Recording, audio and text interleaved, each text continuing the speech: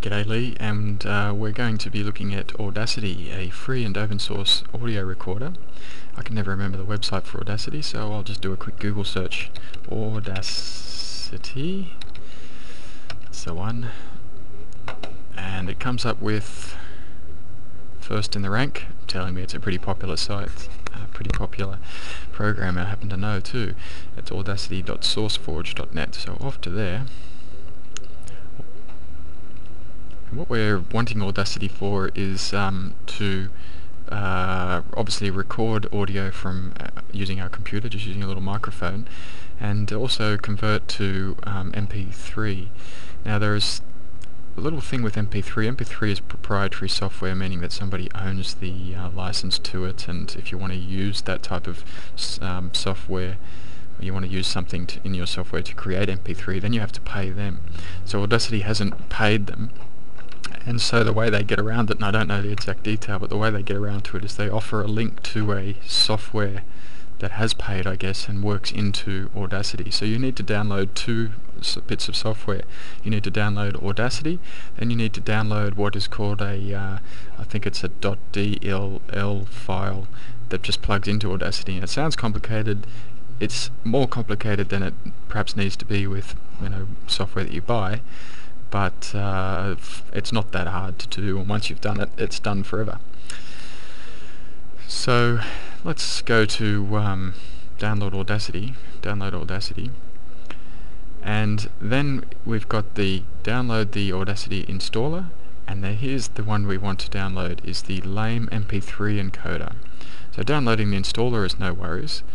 I'll go off to the lame encoder and for the Windows we have to go off to the lame download page.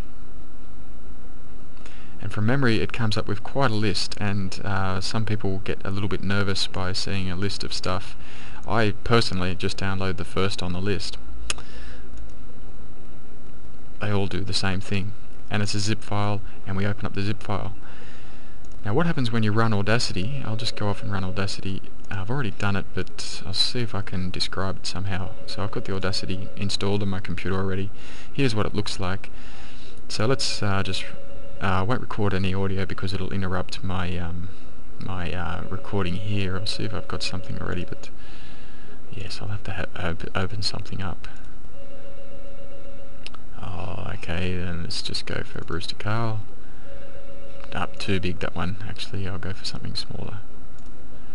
Um, here we go.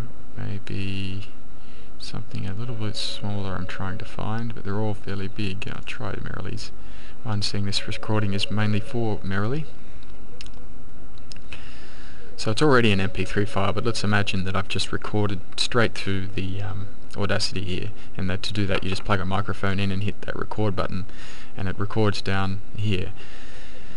When you've got the audio in there, you can export as WAV, which will keep the keep the quality quite high. You can export to OGG Vorbis, which is open source compression software that's the free alternative to MP3. And some players play this. Most players, definitely Linux players, play it, and I think uh, Macintosh does. I'm not too sure.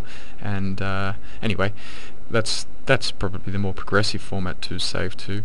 Uh, but as we know, MP3 is the most popular. So when you export to MP3 um, what it does is you say yes we'll take it to there and we'll just go save I won't do it at this point because it'll pop up with a window saying you need the DLL file um, before you can export to MP3 and it'll ask you if you want to do it now and you just go yes and remembering where you saved that lame zip file, the DLL file is inside that zip file, so you have to have already opened that zip file and it could be just, I usually just put it in the same place, I just put it somewhere in the C drive. And when you says yes, I want to map, I want to find the DLL file, then you just go and find it, click it, and it's done.